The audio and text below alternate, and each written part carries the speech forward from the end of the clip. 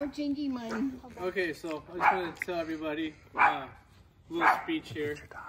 Oh, sorry. Or the dog can do the speech for me.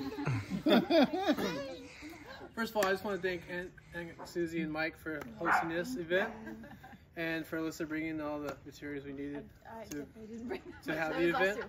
And for my friends to show up and family, everyone that made it, thank you for being here. And everyone that's not here, uh, that's watching this online, you're still watching this video.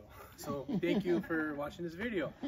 And for all the babies that aren't here to join this family, we know you're watching somewhere, somewhere above us. So this is our voting that we went for. It looks like we got three boys and one, two, three, four, five girl votes. So it looks like most of you guys voted female. And I just want to say um, thank you to my wife for everything you've done.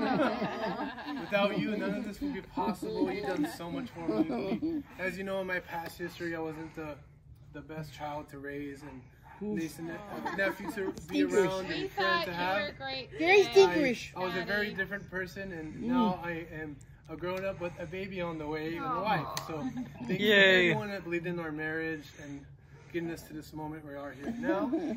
And now we're gonna reveal if it's a boy or girl. Mm-hmm. So let's go ahead and Drum roll. some of this Scotty paper. painted this.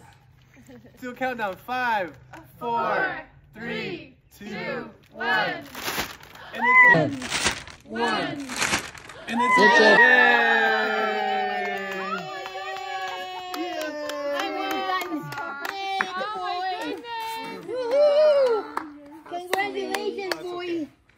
That's a beautiful The Wait, boy's name right? is, Right. and the Oh, boy's name And we, is. we decided Mike and I.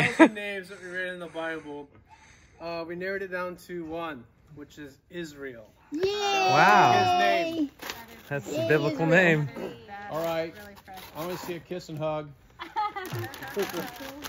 Oh, it's so pretty, Scott. You did a good job. You did that That for so two cute, days. Scott. Very cute. Yeah, I did this really in a hurry. Hurry. It took me like For the maybe five nursery. hours in a rush. For the nursery. Yay! Mike,